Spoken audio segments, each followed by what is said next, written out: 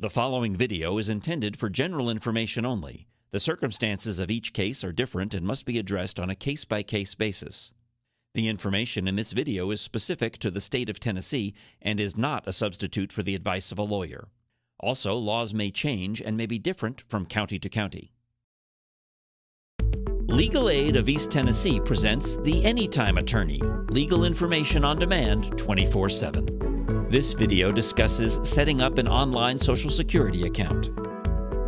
The Social Security Administration no longer sends out paper statements, but you can still get information or make changes by setting up an online Social Security account.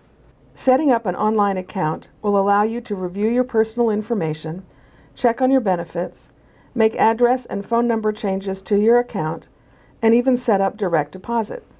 You will have access to benefit verification that states if you've ever received benefits, are currently receiving benefits, or if you've applied for benefits. You must be 18 years of age or older, have a valid Social Security number, and have a U.S. mailing address.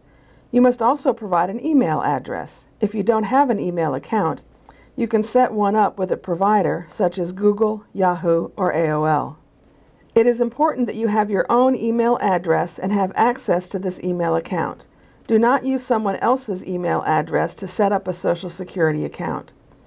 You will need certain personal information about yourself your full name, home address, Social Security number, date of birth, and primary phone number.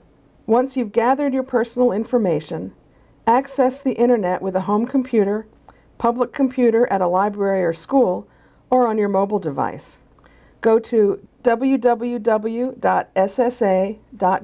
slash myaccount.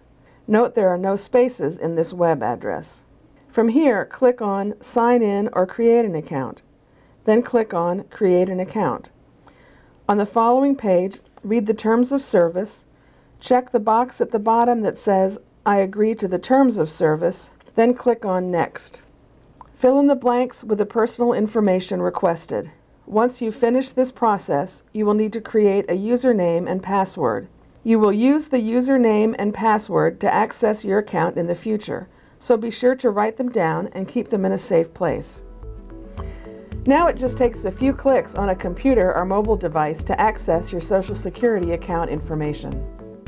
This video was produced by Legal Aid of East Tennessee.